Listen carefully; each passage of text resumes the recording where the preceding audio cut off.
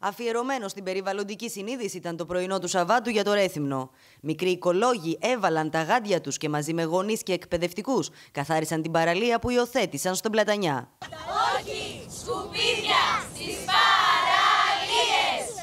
Όχι σκουπίδια στις παραλίες! Υιοθετήσαμε τη θάλασσα αυτή γιατί είναι ακριβώς πάνω από τα σχολεία μας και στην ουσία είναι η παραλία μας, η παραλία που θα κάνουμε τις δράσεις μας ε, και υποσχόμαστε για τα επόμενα τρία χρόνια θα την καθαρίζουμε και θα την φροντίζουμε. Στόχος της δράσης η ευαισθητοποίηση των παιδιών για το περιβάλλον στο πλαίσιο της εκστρατείας για τον παγκόσμιο εθελοντικό καθαρισμό ακτών σε συνεργασία με τη Χελμέπα και με τη στήριξη του Δήμου και της Περιφέρειας. Όλα το βίωσαν ε, με παιχνίδι ε, ανάλογο με την ηλικία τους.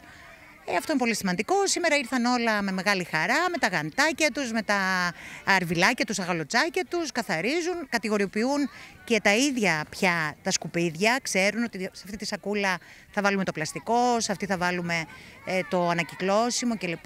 Παράλληλα, δεντροφύτευση πραγματοποιήθηκε στον κόμβο Τσιποπούλου, σε ένα σημείο που μέχρι πρώτη πνιγόταν από σκουπίδια και κλαδιά, με εθελοντές και φορείς να αποδεικνύουν πως το εθελοντικό κίνημα της πόλης έχει δυναμική παρουσία. Φυτέψαμε 107 δέντρα και θάμνους.